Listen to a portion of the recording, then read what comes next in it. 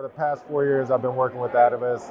And what we do really, we work with coaches. We empower coaches and help them to understand how they can be better when it comes to tackling education and analysis. So from start to finish, we just go a little bit deeper into what it means to, you know, execute a high performing tackle.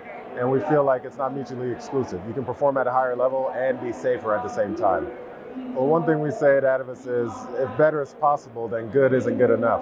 Uh, unless you're making every tackle, using your shoulder, you know, there's no yards after contact, you're playing a perfect game every time, there's always going to be room for improvement, whether it's pre contact, whether it's in contact, whether it's your, your strike, is whether it's your timing, it's your wrap, your finish. By breaking it down into individual components, we're able to identify the areas where you need to focus the most and then help coaches focus just on that. So when you're looking at the performance of your athletes, you're looking at two athletes that perform at the same rate in terms of made versus missed tackles.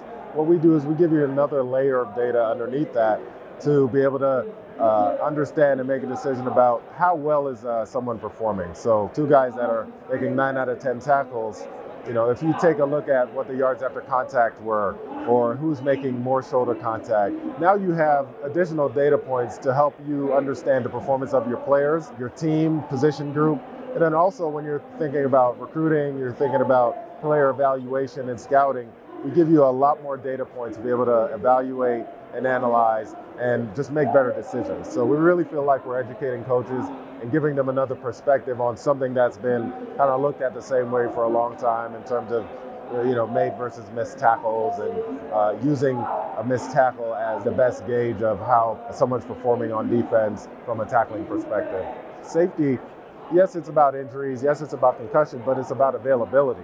You know, when you're at the collegiate level and you're playing for high stakes, you're at the NFL level and you're playing for millions of dollars, you want your best players on the field. And that's at every level. High school, same thing. So we want to keep you, help you keep your best players on the field. And we feel like a safer and more effective tackle is a win-win for everybody involved.